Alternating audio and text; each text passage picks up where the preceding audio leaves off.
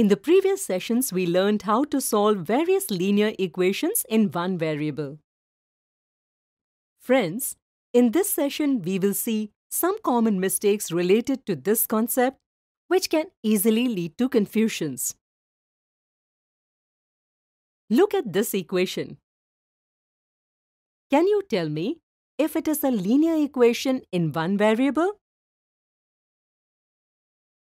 We know that the equation is a linear equation in one variable when its highest power is 1. Notice that in this equation the highest power of the variable is 1. So this should be a linear equation, isn't it? Wait, don't jump to any conclusion. Before we examine the highest power of the variable, we should try to simplify the equation.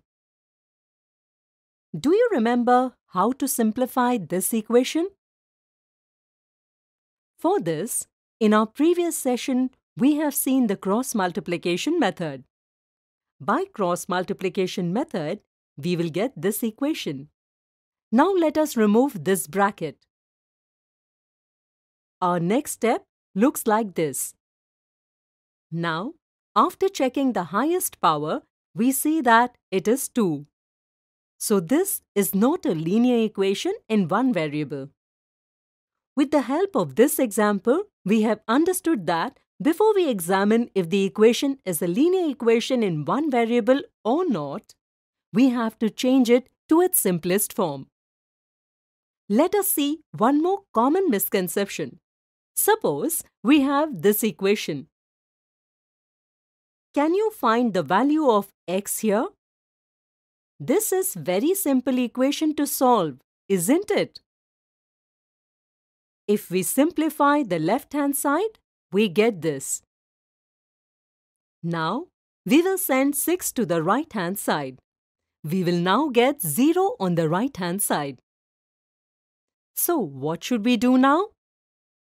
Most of us think that there is no solution to x. But it is not so. Can you tell what does this equation tell us? This equation tells us that the value of x is the number that gives us 0 when it is multiplied with 3. Do you know any such number? Absolutely correct. 0 is the only number which can do so. So the answer is 0. Hence, the value of x is 0. There is one more method to find this answer.